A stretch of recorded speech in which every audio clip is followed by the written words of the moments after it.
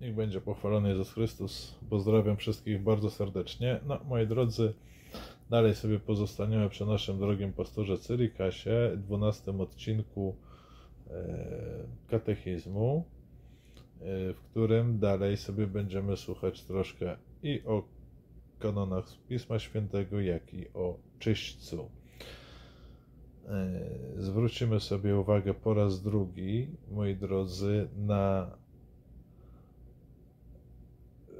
no właśnie, na to do jakiego poziomu upadku doprowadza protestantyzm. Pastor Cyrikas nam to pięknie pokaże raz jeszcze.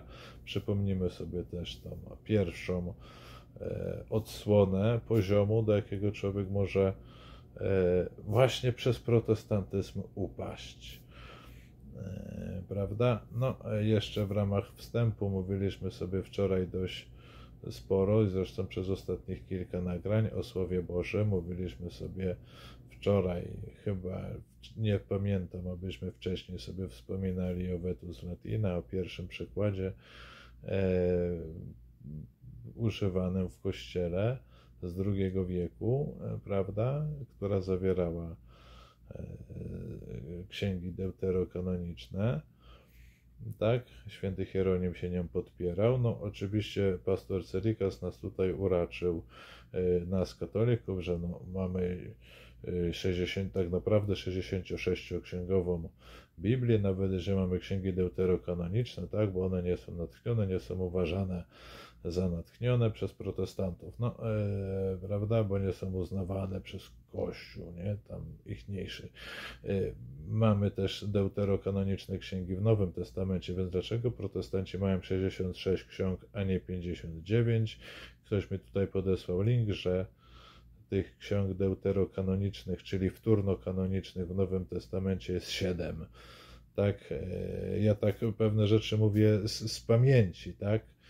Nie to, że więc y, może tam liczba 5 czy 7, co wymieniałem wczoraj, może nie jest tak istotna, jak choć oczywiście można by było być bardziej precyzyjnym, tak? Y, co sam fakt, że jednak są księgi dodane wtórno-kanoniczne w Nowym Testamencie, tak? A więc dlaczego protestanci nie usuną listu do Hebrajczyków, Apokalipsy, tak? Które na pewno są y, wtórno-kanoniczne. A więc e, jeżeli jest 7 ksiąg wtórno-kanonicznych, czyli deuterokanonicznych w Nowym Testamencie, macie 66 ksiąg, po wyrzuceniu powinniście mieć 59 ksiąg. No, bo wyrzuciliście 7 ksiąg uznawanych przez katolicki kościół, e, tak, e, posądzacie nas, że myśmy dodali apokryfy to dlaczego wytrzymacie siedem apokryfów w Nowym Testamencie? Dobrze, e, moi drodzy, przechodzimy sobie dalej do odsłuchiwania e, pastora Kurylasa, nie, przepraszam, Cyrikasa i no właśnie, zobaczymy sobie w katechizmie pewne rzeczy, e, które nam pomogą dostrzec właśnie ten poziom upadku intelektu kiedy człowiek idzie do protestantów? Yy, sprzedawać odpust. No to jest tam końcówka, tam z wczoraj, że tam Kościół po to ustalił właśnie yy, odpusty, żeby, że chodzi tam o biznes. No to ale to. Dobra. Za zmarłych. Czyli uzasadnienie jak najbardziej biznesowe. No. I oczywiście na uzasadnienie podano tą drugą machabejską 1245, którą czytaliśmy Mateusza 12:31 to jest to, co y, czytałem przed chwilą. No nie wiem, y, jak to wyjaśnić. Przypomnę jeszcze raz. Dlatego powiadam wam, każdy grzech i bluźnierstwo będzie ludziom odpuszczone, ale bluźnierstwo przeciw duchowi nie będzie odpuszczone. A jeśli by ktoś rzekł słowo przeciwko synowi człowieczemu, będzie mu odpuszczone ale temu, kto by mówił przeciwko Duchowi Świętemu, nie będzie odpuszczone ani w tym, ani w wieku przyszłym. I niektórzy teolodzy katolicy twierdzą, że tu jest napisane, że skoro grzech przeciwko Duchowi Świętemu nie będzie mógł być odpuszczony ani w tym, ani w przyszłym wieku, to znaczy, że będzie mógł być odpuszczony. No tak to jest wytłumaczone i Dostrzegacie już tutaj to, że skoro nie jest, nie jest odpuszczony, to y, Chrystus mówi, że nie będzie odpuszczony, to teologowie katolicy mówi, że będzie odpuszczony. Tak? Za chwilę tutaj jeszcze bardziej się wyłoży, y, kiedy przejdzie do katechizmu. No, yy... odsłuchajmy sobie jeszcze chwilę. Nie oczekujcie ode mnie, że że to w jakikolwiek sposób wam wyjaśni, bo to jest nie, niewyjaśnialne. Nie... E, pastorze Cerykasie, e, to jest... E, wiesz, dlaczego tego nie możesz wyjaśnić ani pojąć? Dlatego, bo przepraszam, pastorze Cerykasie, protestantyzm doprowadził cię do poziomu takiej bezmyślności, że nawet tak proście prostych rzeczy, właśnie upadły przez, popchnięty do upadku człowiek przez protestantyzm, bo nie chcę powiedzieć, że ty jako ty jesteś głupi, jako Cyrikas, tak? Jako człowiek. Tak sam, żeś się taki urodził, sam, tak? Tylko, że protestantyzm, sekciarstwo, w które wszedłeś, popchnęło cię do takiej głupoty, że stałeś się, upadłeś tak nisko, że nie jesteś w stanie zrozumieć tych rzeczy. To palcem e, zobaczymy, jak się sprawy mają. Palcem ci to pokażemy, pastorze Cyrykasie. Niewyjaśnialne, niewyjaśnialne. Przeczytam to jeszcze raz z katechizmu. Co do pewnych win lekkich trzeba wierzyć, że jeszcze przed sądem istnieje ogień oczyszczający, Według słów tego, który jest prawdą, powiedział on, że jeśli ktoś wypowie bluźnierstwo przeciw Duchowi Świętemu, nie zostanie mu to odpuszczone ani w tym życiu, ani w przyszłym. Można z tego wnioskować, że niektóre winy mogą być odpuszczone w tym życiu, a niektóre z nich w życiu przyszłym. Czyli Jezus mówi, nie będzie wam odpuszczony ani w tym wieku, ani w przyszłym, a katechizm mówi, może wam być odpuszczony w tym albo w przyszłym wieku. Samo się komentuje, nawet nie mam zamiaru się z tym, z tą genialną myślą katechizmu y, sprzeczać. No właśnie. Tylko, drogi pastorze Cyrikasie, pomogę Ci, e, prawda, dostrzec z dołu jeszcze prawdziwy poziom, na, na którym zaczyna się myśleć. Otóż Chrystus mówi, że grzech przeciwko Duchowi Świętemu nie zostanie odpuszczony. Tak? Można z tego wnioskować, że niektóre winy mogą być odpuszczone. Czy te niektóre winy to, są, to jest grzech przeciwko Duchowi Świętemu? Nie. Czy bluźnierstwo przeciwko Duchowi Świętemu to są niektóre winy? Nie. Otóż mowa jest tutaj o dwóch kategoriach grzechowych.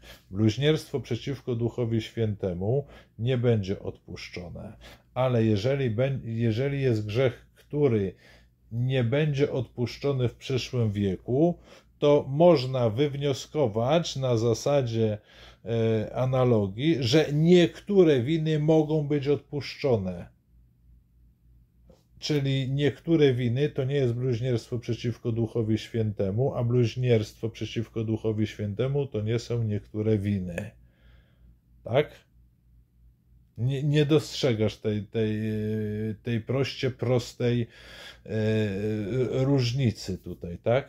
No, pastorze Cyrikasie, na wstępie Twojego nagrania czytałeś e, artykuł 1030 Ci, którzy umierają w łasce i przyjaźni z Bogiem, ale nie są jeszcze całkowicie oczyszczeni, chociaż są już pewni swego wiecznego zbawienia, przechodzą po śmierci oczyszczenie, by uzyskać świętość konieczną do wejścia do radości nieba. I mówiłeś, o widzicie, katolicy mówicie, że nie możecie być pewni swojego zbawienia, a wasz katechizm uczy was, że możecie być pewni zbawienia. No, e, pastorze drogi, jeżeli nie widzisz różnicy między żyjącym katolikiem, a e, tym, co tu jest napisane, ci, którzy umierają w łasce, czyli o martwych, no to przepraszam bardzo, pastorze. Jak ty możesz zrozumieć troszeczkę wyższy poziom, na, e, na którym konieczna jest umiejętność wy, wyciągania analogicznych wniosków. Jeżeli po śmierci bluźnierstwo nie, przeciwko Duchowi Świętemu nie będzie mi wybaczone, to nie będzie i Kościół nie mówi, że wybaczy, ale niektóre winy mogą być wybaczone. Ale te niektóre winy, liczba mnoga, to nie jest bluźnierstwo przeciwko Duchowi Świętemu. Jeszcze raz, bluźnierstwo przeciwko Duchowi Świętemu nie są, nie jest niektórymi winami. I właśnie tutaj o tych niektórych winach, które mogą być odpuszczone e, w tym życiu, a niektóre z nich w życiu przyszłym, właśnie to mamy tą spłatę właśnie e, do ostatniego grosza. E, nie wyjdziemy z więzienia, dopóki nie, nie spłacimy do ostatniego grosza, tak? Będziemy musieli być wydani katą, będziemy musieli przejść chłostę, większą, mniejszą.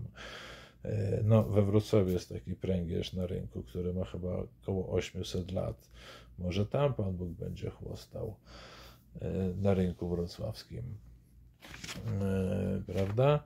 Więc, pastorze kochany, Kościół nie zaprzecza słowom Chrystusa, ani słowa Chrystusa nie zaprzeczają nauce Kościoła, prawda? Bo jak Kościół mówi, że nie będzie odpuszczone bluźnierstwo przeciwko Duchowi Świętemu, to Kościół uczy tak samo, tylko po prostu, jeżeli jakiś grzech nie będzie wybaczony, to Proszę e, mi powiedzieć, dlaczego Kościół się myli, wnioskując z tego, że niektóre winy mogą być odpuszczone po śmierci. Jeżeli jest wina, która może być nieodpuszczona, to dlaczego niektóre mogą być e, nieodpuszczone, e, odpuszczone? No właśnie oczywiście ludzie y, bez, bezszejsi, mm, czyli nie protestanci, dostrzegą y, tutaj w lot, y, prawda, różnicę, że tu jest bluźnierstwo przeciwko Duchowi Świętemu, a tu są niektóre winy, tak? No, ale protestantyzm właśnie popycha do takiej ślepoty, że nie jest w stanie zrozumieć tak prostych rzeczy. Z tą genialną myślą katechizmu y, sprzeczać. Szkoda czasu, ręce opadają. Jeszcze jeden tekst zostaje powołany y, jako dowód na to, że czyściec istnieje. 1 Koryntian 3, 13 do 15. To wyjdzie na jaw w jego dziele. Dzień sądny bowiem to pokaże, gdyż w ogniu się objawi, a jakie jest dzieło każdego, wypróbuje ogień. I jeśli czyjeś dzieło zbudowane na tym fundamencie się ostoi, ten zapłatę odbierze. Jeśli czyjeś dzieło spłonie, ten szkodę poniesie, lecz on sam zbawiony będzie tak jednak jak przez ogień. Jeśli ktoś z, z twórców katechizmu nie rozumie, co pisze, zapraszam na nasze szkółki. Dzieci w wieku 7 lat wam wytłumaczą, co ten tekst listu pierwszego do Koryntian mówi. Bo to jest wstyd, żeby. Dobra, to już jest obśmiewanie. Pastorze Celikasie, słuchacze pastora Celikasa, proszę podeślijcie mi tutaj wypowiedź pastora Celikasa, w którym jest wyjaśnienie, wyjaśnione, co to znaczy, że zbawiony będzie jakby przez ogień. A więc co ten tekst mówi? Jest sobie Jaś Kowalski ze swoim wychodkiem, który zbudował, tak? Staje na sądzie, wychodek zostaje pochłonięty przez ogień, tak? I teraz dlaczego Jasiu nie idzie do nieba? Przecież jest nieutracalnie zbawiony. Dlaczego przed wejściem do nieba musi ponieść jakąś szkodę? I dlaczego, jak czyta pastor Celikas, ma być zbawiony niejako przez ogień? Po co? Przecież jego, jego wychodek już spłonął, tak?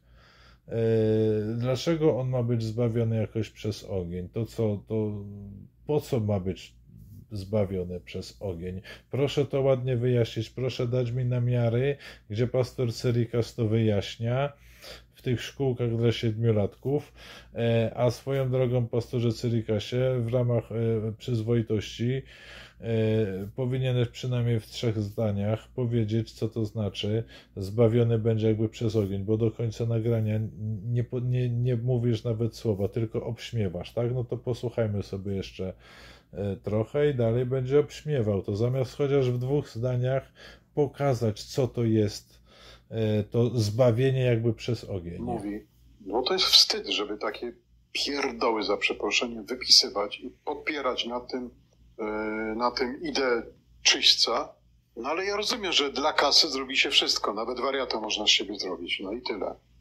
Spójrzmy na listę Hebrajczyków. No właśnie, no to pastorze Cyrikasie, jeżeli nie potrafisz odróżnić e, nieodpuszczenia bluźnierstwa przeciwko duchowi świętemu, a odpuszczeniem niektórych win, no to przepraszam, kto robi z siebie durnia? Jeżeli nie dostrzegasz różnicy między umarłym w Panu a żyjącym katolikiem, to kto robi z siebie durnia? Przepraszam, pastorze Cyrykasie, ale muszę cię o to zapytać. No bo, yy,